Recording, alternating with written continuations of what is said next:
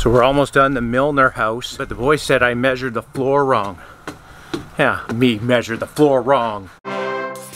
This is the floor we were talking about at discount that had the rubber back, so it's perfect for basements. So you put that underlay down, all this that blue underlay. Can you guys be quiet? You put that blue underlay down, and then You you, put right, then you put down this that flooring, that rubber flooring. Did I really measure wrong? And we gotta cut that other wall. Hello? Just cause It's like I'm not even here. Seriously, did we order too little? I think so, yeah. So whose fault was that? Are you pointing at me? Okay, I'll just turn off the camera.